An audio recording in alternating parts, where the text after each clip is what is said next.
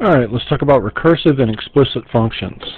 Uh, recursive functions are simply functions that repeat the same process on successive values to generate the next value.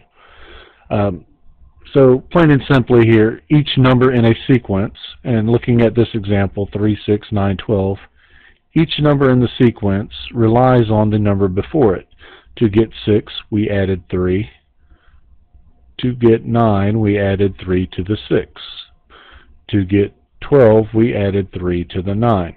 Each number is a function of the number before it. So the next number would equal the current number plus 3 in this example. This is called a recursive function because we're can, we can repeatedly add 3 to the current number to get the next number and the next number becomes our current number and the one after that becomes the next number. So it's just recursive in that it continues to repeat, reoccurs. All right. Explicit equations are functions that allow you to find any number in a sequence given its location in the sequence.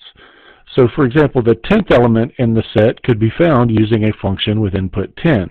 We don't have to know what the ninth element is to find the 10th element. And using the exact same um, example we had in the previous for the recursive function, we could also look at this as a an explicit function. This is the first number in the sequence.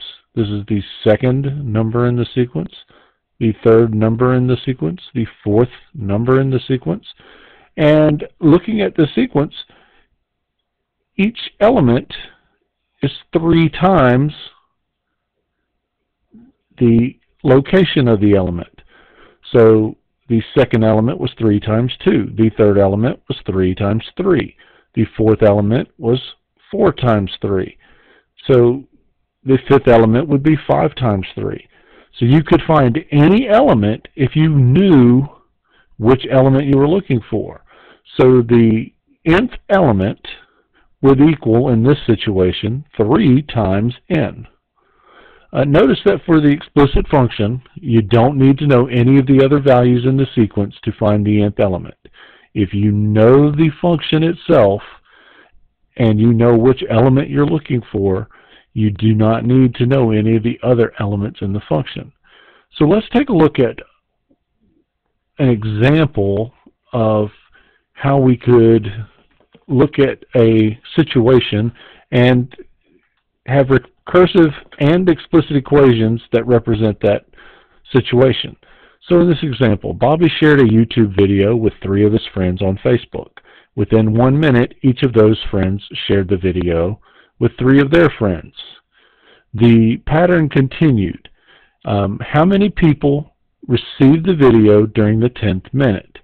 Now we can always sketch out a diagram here and you know in the first minute three people got it this was the zeroth minute, right? So here's the first minute within one minute. And then each of those three passed it on to three people. So in this instance, in the second minute, nine people got it. And you could draw this out in a tree, tree diagram, um, but it would get very long even, I think, by the 10th minute. So let's go ahead and start writing down the sequence. Um, in the first minute, three people. In the second minute, nine people. And if nine people told three people, 27 people, right? So we have 3, 9, 27. You should notice by now that we're multiplying by 3, 81, and this would get us our, if we continue to express that all the way out. So what we're doing here, this is the recursive equation.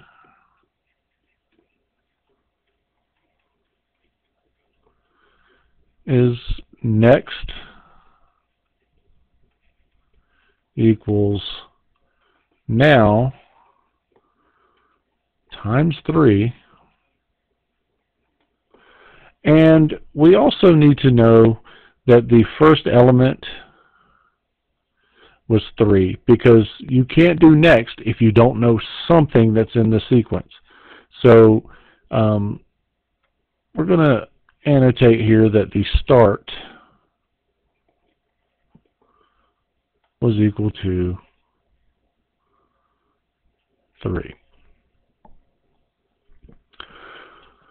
So what about uh, an explicit sequence here? Well, you could look at it as this is the first element, second, third,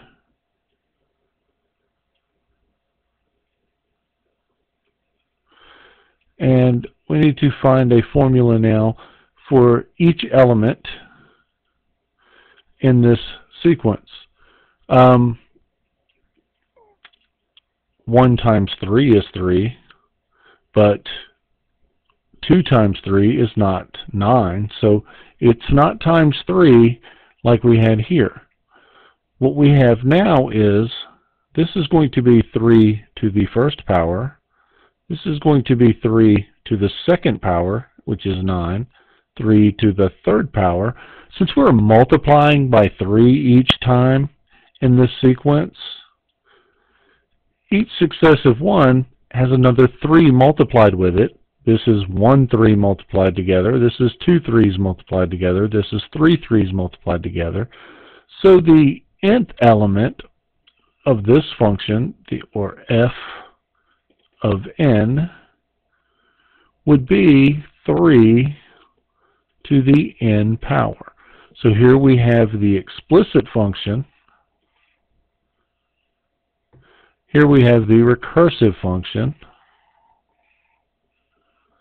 Now you could find the 10th minute,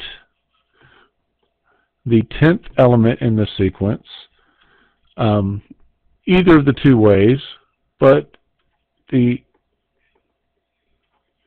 solution will be 3 to the 10th power, which would be very significant in our calculators. And you would have probably had to use the calculator in either event. Um, 3 to the 10th power. 59,049.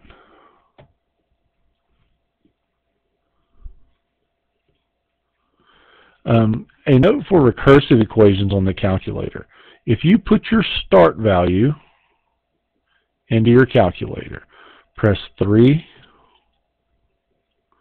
and then enter.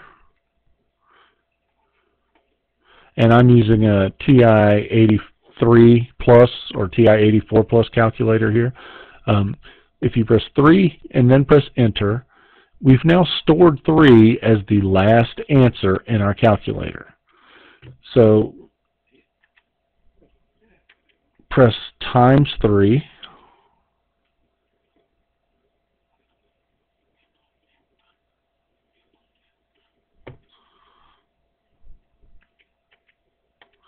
All right, now keep in mind we get it leave and press enter.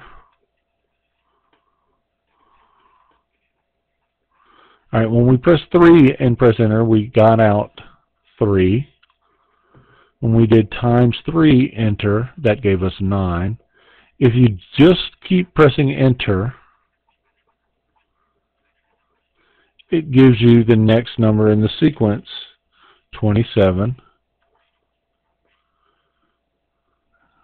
pressing enter 81 enter 243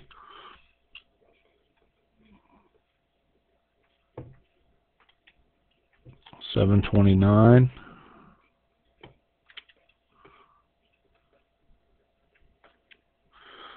2187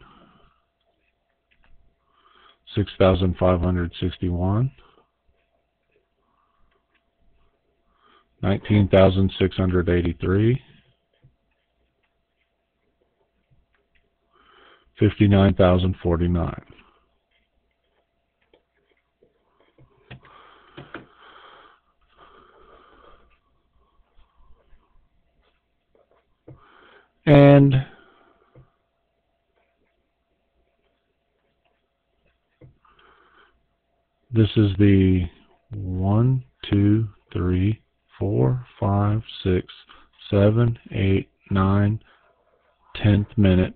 We still got 59,049.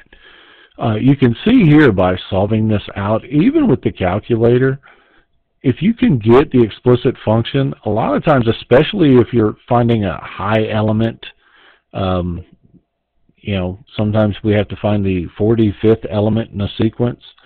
Uh, it's very helpful to have this explicit equation so that you don't have to type so much in the calculator.